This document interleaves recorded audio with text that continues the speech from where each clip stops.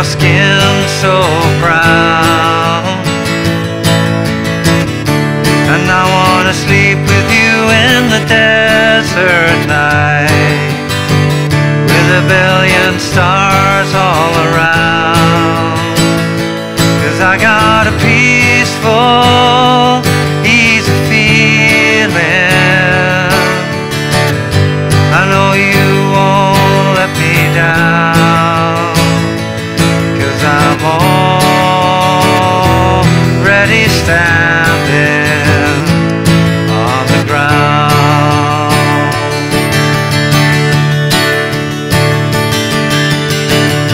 Hey, how you doing? Justin here today. We are checking out Peaceful Easy Feeling by the Eagles. What a beautiful, beautiful song this one is. We're going to be playing it in the key of D. It simplifies the chords greatly. The original recording is in the key of E, requires a lot more bar chords. If you want to play along with the original recording though, pop a capo on at the second fret. I'm pretty sure I can hear one of the guitars playing exactly that way on the original recording too. This song is included in the JustinGuitar Lessons and Songs app, which is full of awesome guitar karaoke for you. It's got all of the guitar lessons as well, but for a song like this, it's so, so nice to play along, being able to strum along and have another guitar part doing all of those fancy lead lines and the singing.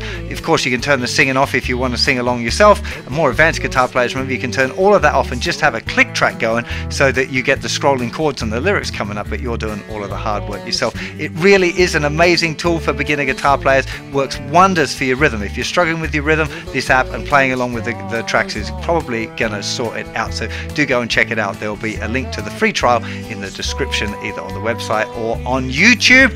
Let's get stuck in and check out the chords. So the intro is four bars on the D. Pretty simple there. I am going to take you through a few different options for the rhythm, but first of all, we're going to suss out what all of the different chords are. When we hit the verse, we've got one bar of D, one bar of G, back to the D, back to the G, back to the D again, back to the G, and then two bars of A.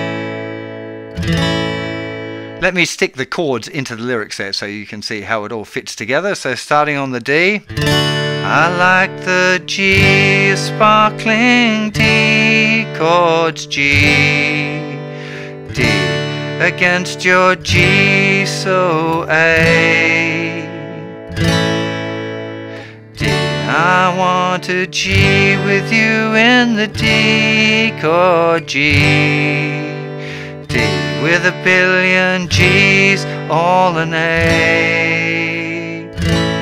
And then we're in the chorus, slightly different chord progression. The chords for the chorus are two bars of G to two bars of D, back to G for two bars, then to A for two bars. Then we got this little variation D for one bar, E minor for one bar, G to A, and then four bars of D for the choruses. Three and four. And let's stick the chords into them lyrics and see how it all fits together. Cause I got a G chord, easy D chord. I know you G, let me A. Cause I'm D minor, already G chord A on the D.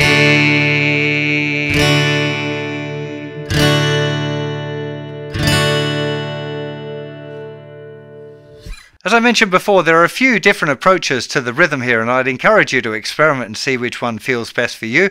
The one that I kind of like the most is playing even eighth notes and putting an accent on beat two and four. So you're going one and two and three and four, and even consistent strumming, but then you put an accent on two and four. One, two, three, four. One, two, three, four.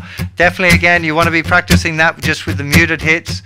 You can really hear when you've got the accent there. When the chord's there, it's slightly less obvious. You want to get into that feeling. One, two, three, four. One, two, three, four. Making sure you feel nice and relaxed when you're doing it as well. That's really, really key. One, two, three, four. One, two, three, four. Let's stick that into the chord progression. On the D. One,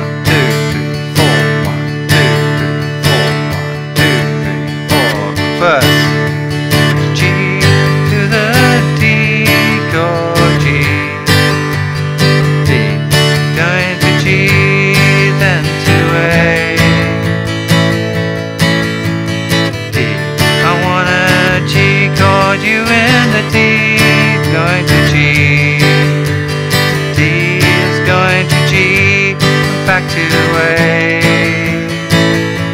And I got a G chord, E's a D chord. G, and I know you won't let me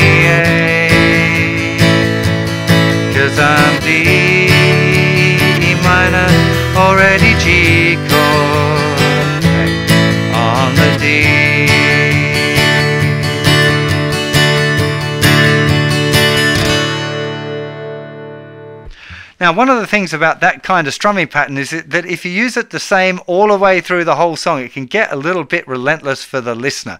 Now, on the original recording, there's definitely a guitar doing that even eighth note strumming. It sounds fantastic, but there are lots of other elements on the original recording that kind of create interest and create dynamics within the track. So I would encourage you to ha- at least have one different pattern between the verse and the chorus. Maybe that full on eighth note strumming is what you use in the chorus, where it wants to be a little bit bigger, but maybe you go for something like Old Faithful for the verses. So just going down, down, up, up, down, down, down, up, up, down. I like the way the sparkling earrings lay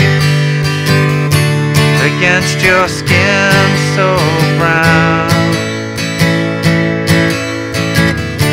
I wanna sleep with you in the desert night with a billion stars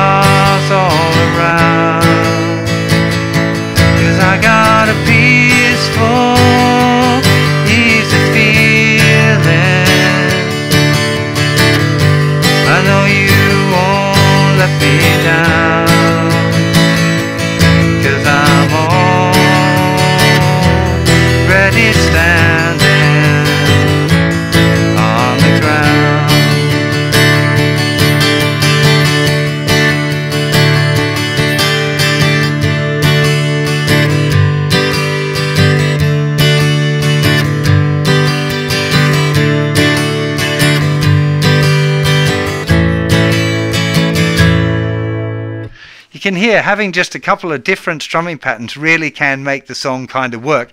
Of course, I'd encourage you to try other stuff as well. You might like trying picking out the bass note. This is kind of a country vibe. Uh, the bass part is doing that, playing the one and the three with the bass. So if you were doing a, you know.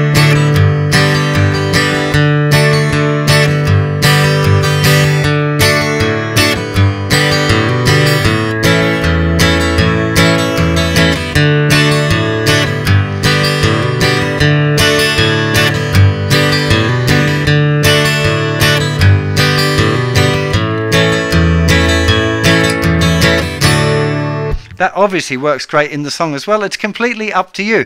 Again, it makes a difference if you're playing along with a track using my app. You can be a little bit straighter with the strumming and it feels more like the full production. If you're playing it on your own, you need to be a little bit more aware of the dynamics. I really hope you enjoyed this song. Plenty more Eagle stuff over on the website. You might want to go and check that out as well. And don't forget to go and check out the app. It really is an incredible tool for beginner guitar players or anyone struggling with their strumming who wants to work on on their groove and playing along with a you know band preparation, you know, not stopping while you're playing, that kind of stuff. Really important skills that you can develop, and the app is the best tool for that that you're going to find anywhere. I swear to you. Okay, I'll see you for plenty more lessons very soon. You all take care of yourselves out there. Bye bye.